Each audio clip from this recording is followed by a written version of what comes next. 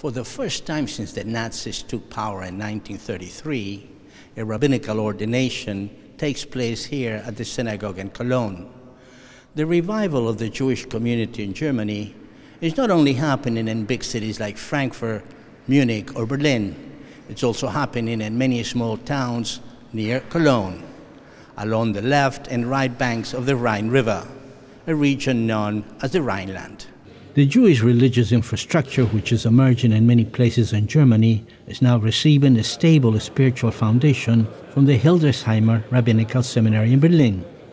Like many other young rabbis in Germany, the four rabbis ordained in Cologne completed studies at the Hildesheimer Seminary, founded in 1873 by Rabbi Ezriel Hildesheimer, forced to close in 1938 by the Nazis and reopened in 2009 by the Central Council of Jews in Germany.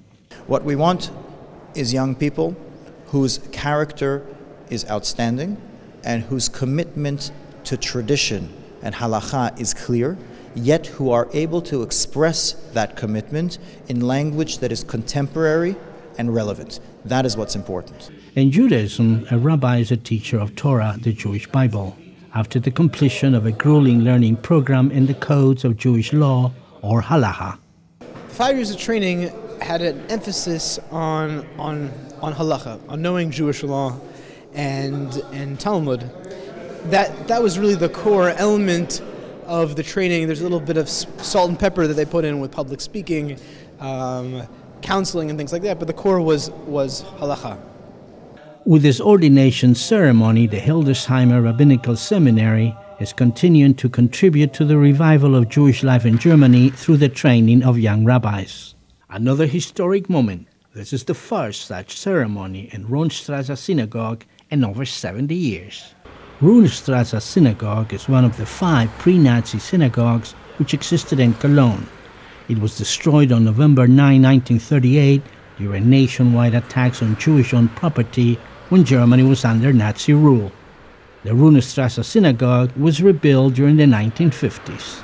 The rupture exists, but we should not forget that before the rupture there was a great tradition. And if we can build on that tradition, despite the Holocaust and despite the rupture, then we have a very powerful chance of making a great statement not only about the Jewish people, but about the future of Germany today.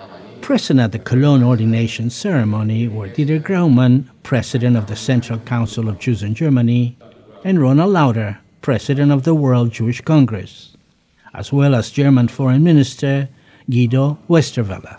This is my ticket to doing the professional work that I wanted to do, nothing more. Is this like a dream come true for you? It is, yeah, every, yeah, to be able to be learning Torah and teaching Torah is a dream come true. Congratulations. Thank you very much. The ordination in Cologne of four new rabbis marks the return of Jewish life to the Rhineland and it's a milestone in Jewish life in Germany and Central Europe. This is Wilson Ruiz for Jewish News One in Cologne, Germany.